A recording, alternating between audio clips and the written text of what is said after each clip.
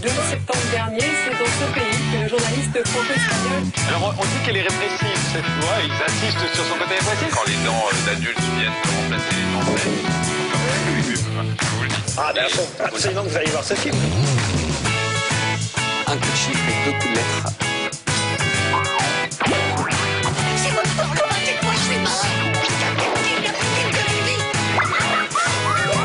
France Télévisions nous ressemble.